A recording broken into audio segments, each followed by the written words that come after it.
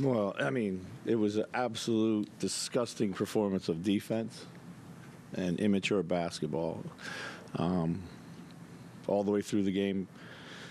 So it really didn't slip away. It had been there from the jump. So this is what happens when you uh, have this type of approach. I mean, listen, yeah, it's you- you're spot on. I mean, there's lots of times when just because you've scored two or three or four points in a row or baskets in a row, it doesn't, you know, obviously we're going to try to feed a hot hand, look for a hot hand, but at some point we got to get back to making the right play. We got to get back to doing the right things, um, and um, you know, that's just uh, like I said. There's a lot of ways to be immature. There's always a lot of ways to be immature, um, and there was a lot of immature performances here throughout the the roster. We totally disrespected uh, the game ourselves, um, and we got exactly what we deserved. So